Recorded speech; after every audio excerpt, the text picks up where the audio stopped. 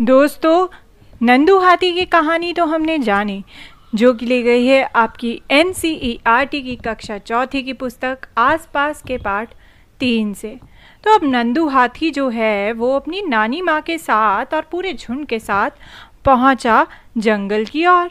तो आगे देखते हैं, वो कहाँ जा रहे हैं, यह झुंड जो है, वो कहाँ जा रहा है और क्या कर रहा है। आइए देखते हैं। जंगल पहुँचते ही झुंड बिखर गया। सभी अपने मनपसंद पत्तों और झाड़ियों को खाने के लिए अलग अलग हो गए। कुछ देर खाने के बाद सभी नदी की तरफ़ चलने लगे। सब बच्चे पानी में खेलने लगे। कुछ बड़ी हथनियाँ नदी किनारे मिट्टी में लेट गईं। तो अब ज़रा देखिए, जो हमारा नंदू हाथी है, वो अपने दोस्तों के साथ मिलकर कितने मज़े कर रहा है। नंदू हाथी ने अपने साथियों को एक दूसरे की पूंछ खींचते देखा। उसने सोचा, मैं बहुत छोटा हूँ कहीं ये सब मेरे ऊपर ना गिर जाए।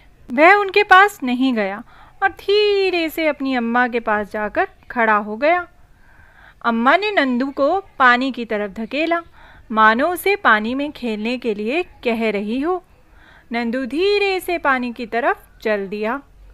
उसे तो पानी से खेलना, पानी के साथ खेलना बहुत पसंद था। उसके दोस्त भी पानी में ही थे।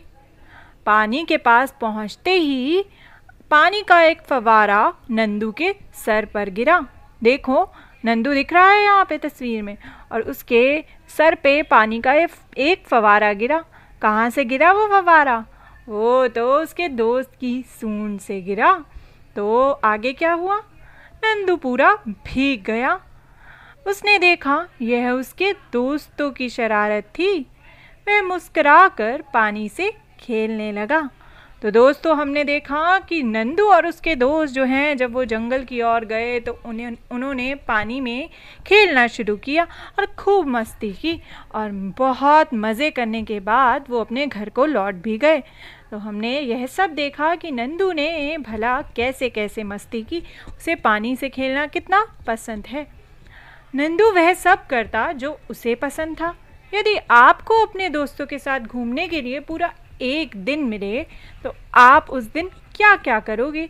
Nandu use to do what all he like if you would get a chance to spend a whole day with your friends what would you do तो देखते हैं कि अगर आपको अपने दोस्तों के साथ समय मिलता एक दिन बिताने का तो आप क्या करते?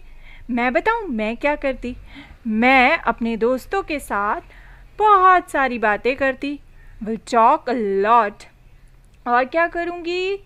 गाना गाऊँगी विल सिंग नाचूँगी विल डांस और बहुत सारा खाना खाऊँगी विल ईट अ लॉट तो अगर मुझे अपने दोस्तों के साथ पूरा एक दिन बिताने का मौका मिले तो मैं यह सब करूँगी।